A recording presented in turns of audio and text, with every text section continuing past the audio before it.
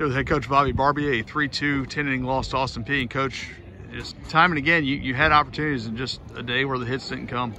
Yeah, he's hitting the bats really well, you know, and um, just got to get some guys going offensively to know three. Not always playing those tight, you know, ball games where, you know, we make a few mistakes there in, a, in the ninth or 10th or whatever it was, 10th inning when they scored a run. And, and you got to, just can't overcome them when you don't, you know, put together better at bats and better innings early in the game. So hopefully we learn from it. You know, we, we get away from it a little bit, take our day off tomorrow and get back go to work on Tuesday.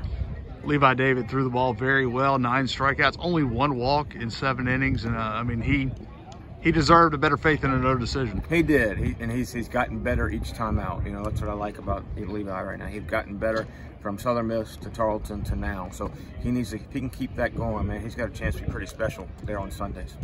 You guys, you know, Dante Stewart, again, they, they did what you should do to a guy who's been beating you all weekend. They took the bat out of his hands, and again, that puts pressure on some guys, and especially when you're, you know, you're kind of scuffling a little bit, makes it tougher. Yeah, I mean, you know, I mean, he's he's he's on fire. I mean, he's swinging the bat great. So if I'm on their side, I probably don't pitch to him either. You know, and he had some spots there where he didn't have to, but it's uh, man, it's just a game. You know, it's a game, and you need it.